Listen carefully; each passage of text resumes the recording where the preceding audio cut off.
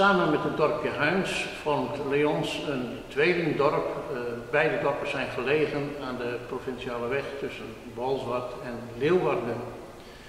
In Leons treffen we de Katharinekerk aan. En uh, het had niet veel gescheeld of dat kerkje uh, bestond niet meer, want het zou worden afgebroken. In de vijftiger jaren was het zo bouw, bouwvallig geworden dat men besloot het af te breken.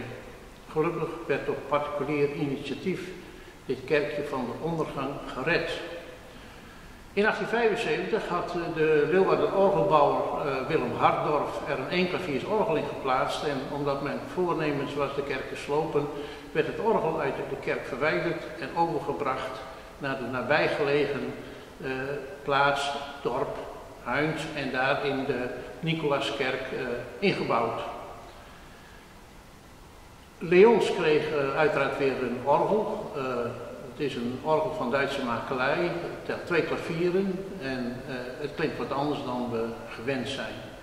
Toch hopen we dat u geniet van ook dit orgel en deze kerk in dit dorpje Lyons.